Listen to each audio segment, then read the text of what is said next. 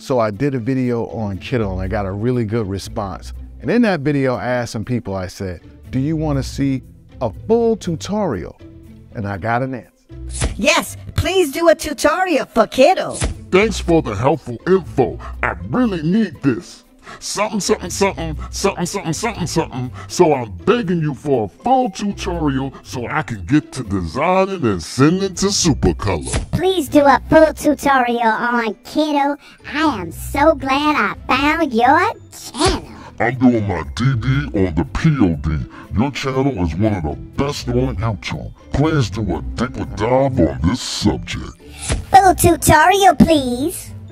Well, Gary and T-Shirt Help Desk are at your service. You asked for it, you got it. Here is a quick and dirty crash course on how to use Kittl. Let's make some t-shirts. Okay, guys, this is Kittl. All right, you can go up to the card and you can see my first video, but this is going to be a crash course on Kittl. Okay, first of all, as you should know, there's a whole bunch of different um, categories that you can go to all logos, labels, t shirts, posters, cards, and social, right?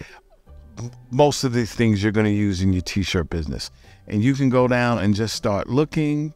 Um, you can go right into these hashtags, or you can put in something specifically uh, to find, right? I'm just going to go right here to all, and I'm going to do all because here's the great thing is that although something may be a logo, something may be for social, you never know, it could be used for a t shirt.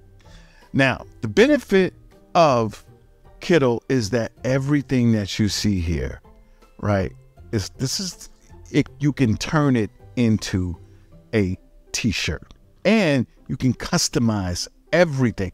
Everything you see, you can customize it. So I'm just going through here. We're going to find one. And uh, you know what? Let's go right here. This one is kind of cool. And you can see this, right? And then you double click on it again. And this brings up the actual program. Another great thing about Kittl is that this works in your browser. Okay? You don't have to download anything. You don't have to do anything. You just go straight to it from a desktop and you can get busy. So guys, you don't have to use one of the pre-made graphics. You can start from a fresh, clean slate. It's really easy. But to me, the benefit of Kittl is using those pre-made templates, right? But of course, don't bite styles. Don't use them as is. The great thing is to customize them to make them exactly how you want. So first things first, you're gonna see the first thing you're gonna use is your selector, right? Um, if you go around, you'll see that it looks pretty much like a mouse. Once you get on top of the artwork, you can see that if you hover over anything, you see it looks like a little cross with arrows, and you can select, right? Select, right? And you see all these things are selected. Okay, so that's your selector. That's the thing you're going to be using the most. I'm going to click off here. Next thing you go, let's go. You're going to see, you're going to click and you're going to go, and that is your background. Okay.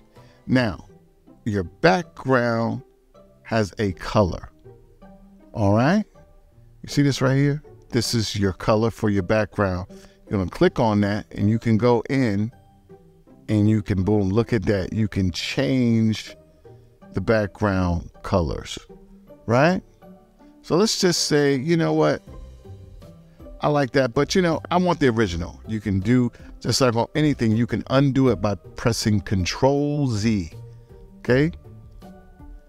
And that puts us right back to square one. All right? Now, I'm going to click on the background again because I want to show you something else. Right? You can see right here, because I'm going to get into this later. This is a texture. So I want to get rid of that texture. We're going to come back to that later. Don't worry. Right? But we're just going to get rid of that so we can really, really work. All right, cool. There we go. So I'm going to click back on that background again. Now, this is really important for you guys to do print on demand. You're going to see that not only can you change that background color, you can go right here. You see this opacity? You can bring that down all the way down to the point where it is transparent.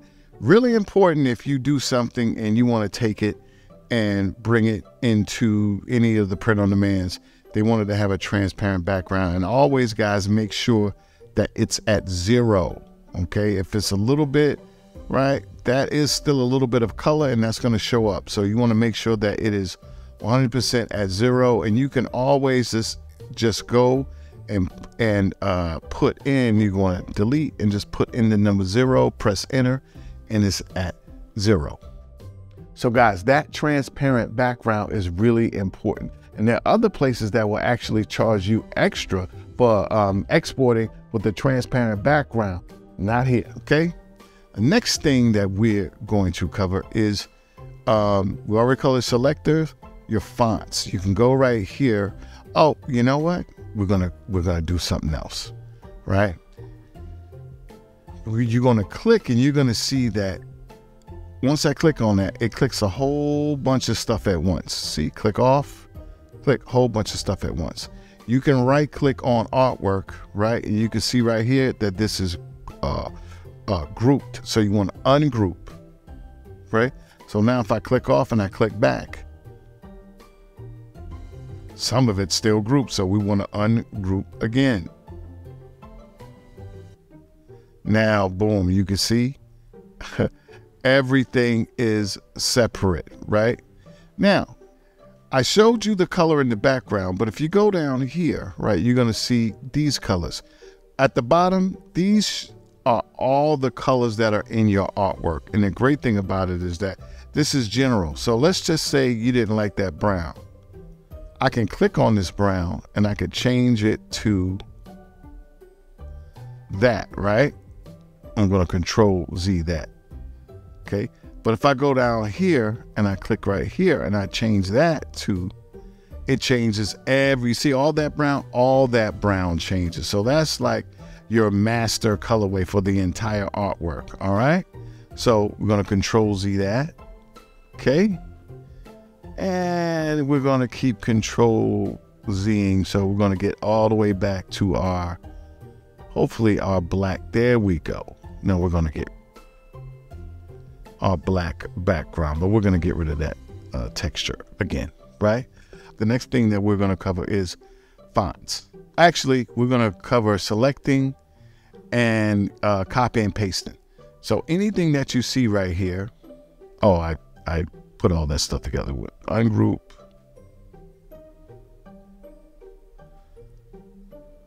And group. So anything right here, you're gonna um, you're gonna go right here. You see that right there? You can copy, press Control C, and then press Control V and paste. You see it says object pasted. Now you don't see it. Where is it? Where is it? It's right exactly on top. See that? It's right on top of where it was before. So that is how you would copy and paste. So we're just gonna, I'm just gonna put that down here. We might come back to that later. Act, yeah, we're gonna come back to that later. I'm just gonna put it down here. Or if you wanted to delete it, you simply press your delete button on the key on your keyboard and it goes away. Control Z, it comes back, or you can right click on it. Mm. Right click on it and press delete. All right. But we we want that there, right? So now we're going to go right here. We're going to play with our fonts. All right. Let's move this over. When you click on anything that has like a font over on the right side, you get all of this goodness right here, right? And you're going to see right here that this typeface, right? Well, first of all, you can change the color. You click on the color and you can go in and manually do that. Or you can go down here and play with it like that. Or if you have your hex code, you can go and put that in, or you can put in your RGB. Really doesn't matter. Okay. So that right there, we change that to that blue. Kind of like that together. So let's click on that again, right?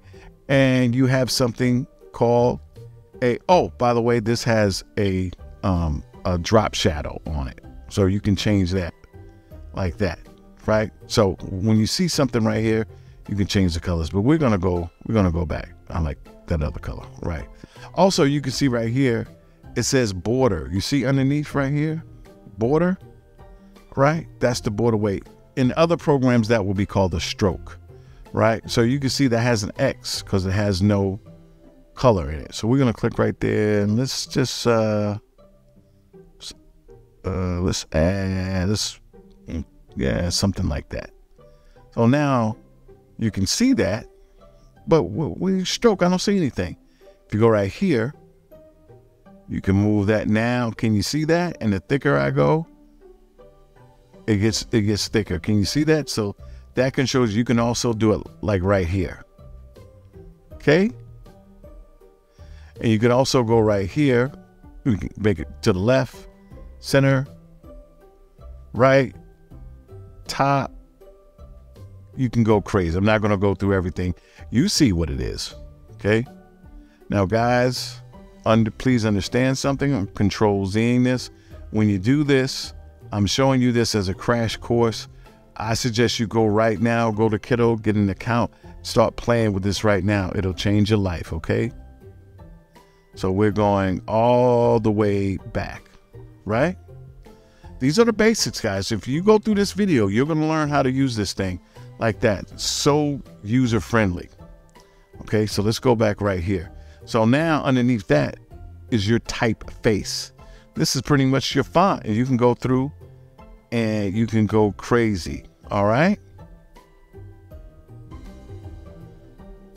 Choose font. Now the crazy thing is that Kittl uh, originally was Heritage um, Fonts, and they are like font savants. Okay, fonts crazy. They're they're um, a fonts company originally, I believe. Um, so you can go through and change the font and just you know do something really cool, right? So now we have something that looks like that. Cool. So let's click back on it and this is where things get really crazy. Okay, this is where things get amazing. You can go right here, and no matter what, you can play with. You can hit custom, and that changes everything. And now you can go and use these anchor points and go crazy. So when you see all those like different t-shirts and the fonts are going all crazy, right? they've made it so easy. You can go right here to distort. You can do the same thing again. Can do from the bottom. Look, look at how awesome this is. You can change the top. I mean, you can go crazy. Okay, let's control Z that. Let's go back. Circle.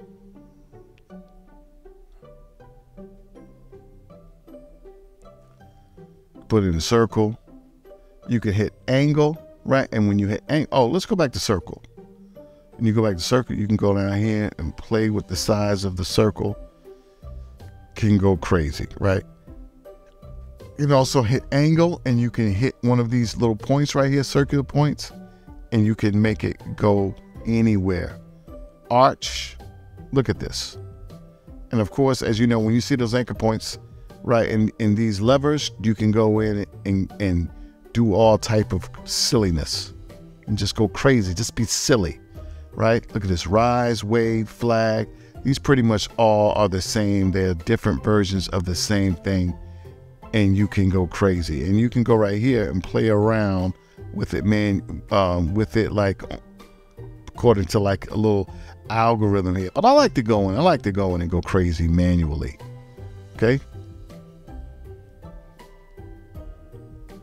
So that is how you can rock out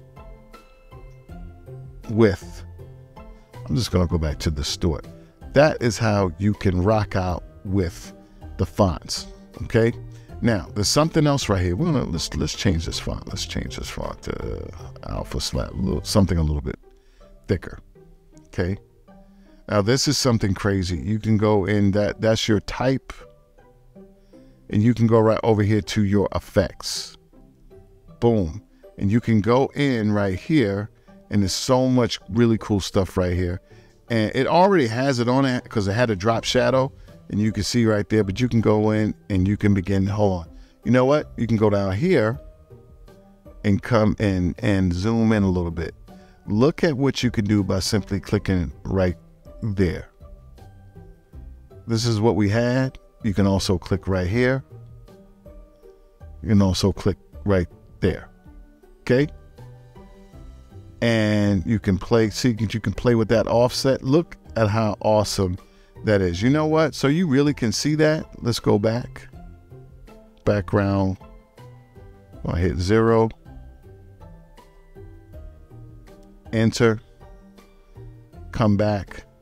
Go to effects because I just want you to see this. Right? You can go to offset and change that angle. Look at that. And blur. You can make it really blur. Look how awesome that is. Now we're not done. We're not done. I went through all of these, right? So let's go back and let's go down here to decoration. Hold on. Look at that. So you might not be able to see that too good. So let's uh let's uh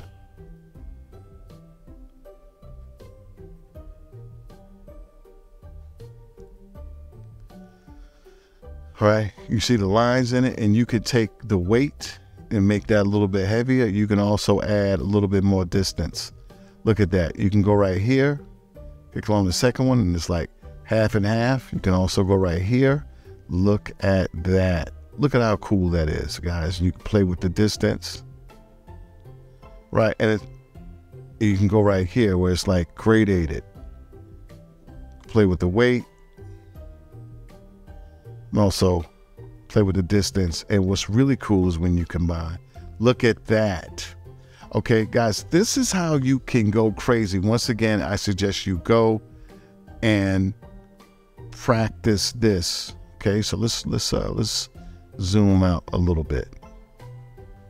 And the crazy thing is, let's just say, you know what? I want the original again. You can go down here because I made a copy, and you could put it back, and it's just how it originally was and you can just delete that.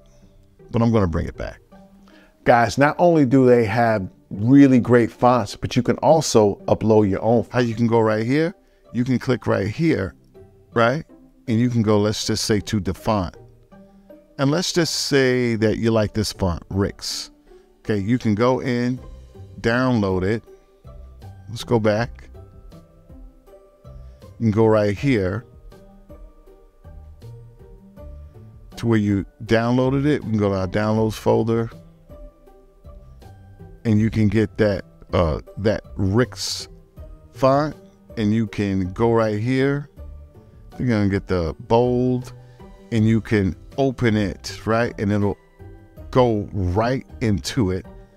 And you can go right here and put in, I think it's Ricks or TT Ricks, TT Ricks trial and bam, look at that.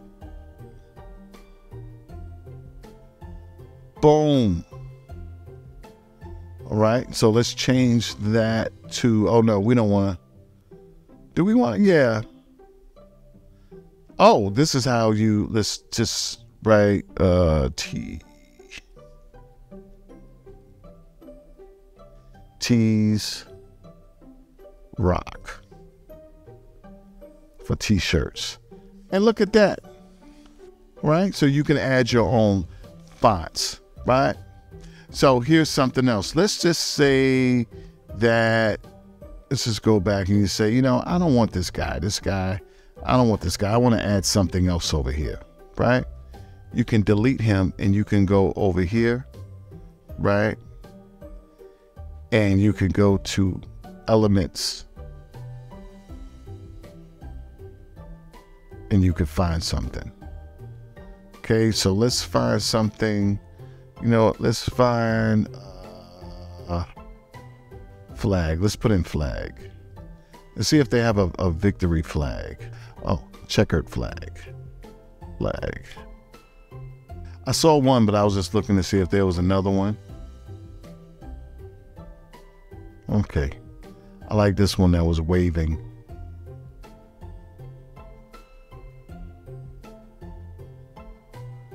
Boom. Look at that. So we have our checkered flag. Now here's the deal. If you can see this, right, you can go in, You see these little squares? You can go in and you can make the bigger or smaller, and you can also go right here. Uh-huh. See that? Okay. And of course, you can go in and I didn't show you this. You can click, see that blue? That blue doesn't go with anything. So we're gonna go right here. See that? That is our eyedropper. And we're gonna eyedrop right, boom, right there. Look at that. Look at how beautiful it is. We're gonna go right here. We're gonna click on that one, go to our eyedropper. I'm gonna hit one of these, this, uh, this gray, this dark brownish gray. Now look at how that matches up. Look how cool that is, right? Okay, guys, this is how this is how you make graphics, guys. Now, this is awesome. You can also, with all that great clip art and all those elements, you can also add your own. Also, guys, not only can you add their elements, but you can add your own elements in clip art, okay? Let me show you. You want to go over here to the left side, right? You see what it says uploads? You want to click on that, right? And then you want to click and you go to your to wherever you keep your stuff at. First thing I'm going to do is I'm going to get a ping file, right? So I'm going to we're going to click on that. We're going to bring it in to the artwork and it's cool. You can take it, you can play with it. It comes up, right? Pops up right there and it's cool. You could take it, you can play with it. You can play with the um, you know, slider and do stuff to it, but let me show you something else. Let's go back and let's add in an SVG file. All right, this is a vector file. And the great thing about adding SVG files is that you can go right over here, click. We're going to use our, our water dropper, right? Eyedropper. And you can change the color. All right. And SVG files are vector files, and pretty much any uh, file, you can save it as an SVG. All right. Let's get back into this video. Um, so another thing that you can do, let's just say you wanted to spell something, uh, you wanted to change something around. You can go right here and you can go to text. You can click on there and you can you can use something that's already here, right? You can also go to add headline right there, and you can go in and start to hold on, close that out. Right, racing, capital R, racing. That's it. I'm just gonna put racing. Okay, and you can go in, same like before, and you know, find you a nice little something. Okay, that's that works.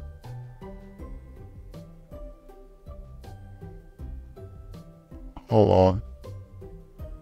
Oh, you can make the font bigger like that. You can also go right here and stretch that out, right?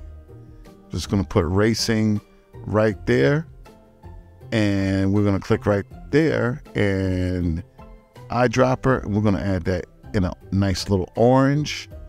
And then we're gonna go right here and we're gonna add a little drop shadow and then like that, racing.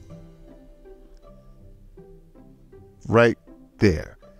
Oh, how beautiful that is, right? And that is a whole lot of this program guys i mean that is a that is a that's the basics of most of the things that you're going to be using in this program okay you can also add photos you can go in and find photos i really don't use this i mean this is pretty much i use it for graphics but just showing you how you can do that and um, that is it, guys. Now, there is something else that I want to show you, but I'm going to go back to the beginning and start from scratch because uh, we're going to play with the background. Now, this part is really important. This is where we get down into textures and backgrounds and all of this stuff and distressing, because these are the things that really give your t-shirts that real character, that professional look that looks like the stuff that you see in store. Okay, we're back on this bad boy. We're gonna click on him again. And I want to sh- show you guys something. Uh, we're going to go down here, right? I showed you all this other stuff in this. We're going to go down here to uh, layers. Now, this it, layers is something that's in a lot of design programs. Uh, I don't really use them a lot, but they are a great way to keep things organized, right? So you can you gonna you can look down here and see. Uh, well, if I if I click right here, I click right here, you can see all of this stuff that shows you before. But now if you go down here, it shows you everything individually. You know, the background, the main graphic, the signature, which is this down here. Uh, each race is new. Every every everything like this is those words. The number twenty four, right? This well, Maurizio, right? Everything is right here in this layers. And I also see something right here. Texture, right? The texture layer. That's that background. Remember I said before I was going to get to that? We're going to click on that. We're going to click on that background. Okay, hold on. Where is it? Where is it?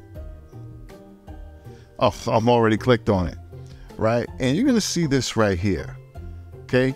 This is the texture. Okay? So um, you can go to the texture and you could take it and you could go to this opacity and you can take that all the way down to nothing. See how you can't see it and you can go all the way back up.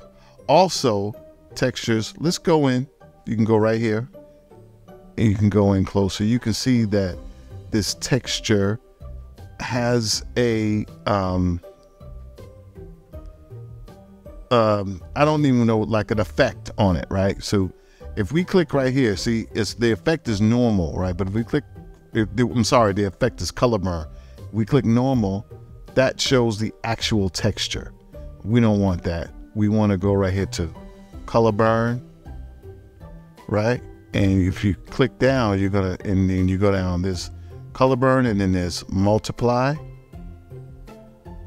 overlay, soft light, alpha mask, right? I like I like the, the color burn better. And you can play with like this. But let's just say, right? Let's just say, you know what? I don't really like that. I don't want that texture. So let's zoom back out, go down here. You can go right here to release texture. That's where you can kind of see it. Um, and you can also go, come on now. And you can you can move it around, right? And click on that background. And you can delete it. You can also go, let's let's go all the way back to where we were, and you could just hit delete. And it's gone altogether. Now, you can go over here, you can go down to texture, right? and you're going to see all of these different textures and you can just click on them and now it gives you an idea of the other things that you can do. So many of these. Look at all these.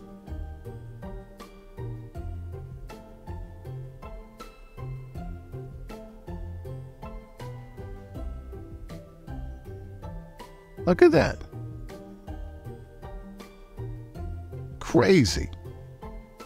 And guys, you can go through and just go crazy at like bricks. I mean, it's just crazy. But I'm going to go back up here to one of these first one. I like that one. Or do I like that one? I like that one, right? So we're going to go, come on, come on, close back. So we're going to go back and we are going to make the, going to do that color burn. And we're going to change the opacity. And that's how you can make some really, really cool graphics, right? And of course, you can delete it, go to this right here, make that a zero. and you can have something, you know, that you can put possibly on print on demand. And the last thing I'm going to show you is something really important is you can go right here. See this? And you can download, you can download as a ping, you can download as a JPEG, you can download as a PDF, okay? And you can also download as an SVG. By the way, SVGs can be opened up and manipulated in Illustrator. All right. So, anyway, guys, that was my quick and dirty crash course on Kittl.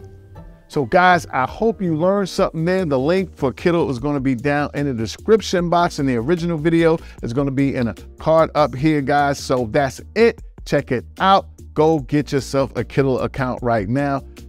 I'm going to put some butter on my shoes and slide on out the door. Until next time, God bless, and I'ma see ya. Peace. T-shirt help, Brusk.